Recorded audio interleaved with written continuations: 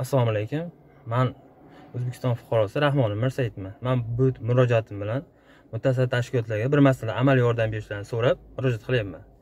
Men hop ikki ming yigirmanchi yil o'n to'rtinchi iyun kuni mana kafolat xatlari o'n to'rtinchi iyun kuni e, chus avtosalonidan cobalt rusumli to'rtinchi pozitsiya cobalt rusumli avtomobil sotib oldim. Ho'p uni ikki ming yigirmanchi yil yigirma to'rtinchi avgust kuni chus salonida hop tortmay qolib yurmay qolgan sababli olib keldim. Ana shu kuni ular menga mana kilometr uch ming sakkiz kilometr yurgan xolos. Olinganiga bir oyu to'qqiz kun bo'lgan moshina yangi holatda.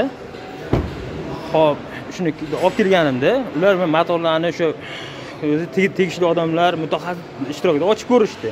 Ana shunda to'rtta porshin e, yorilgan singani aniqlandi. Ana shunda bular menga ho'p bu mashinani o'zingiz ta'mirlab olasiz. Bu biz uni kafolat olmaganmiz. Benzindan bu masala deb menga murojaat javob berishdi. Og'zaki javob berishdi.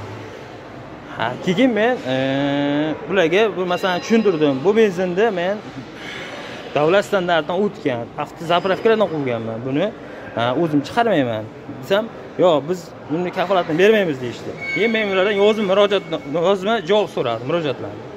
Ular mana bugun e, dushanba kuni kelingan bo'lsa bu masala.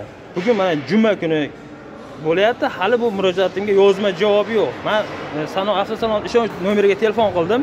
Ana shunda e, bu o'n o'n besh kun vaqt oladimi desam yo'q bu aniq emas. Biz unga e, shuncha kun javob beramiz deb aniq javob berisholmadi shunga man sizlarga murojaat qilib shunga amaliy yordam berishni so'rab telefon qilyapman.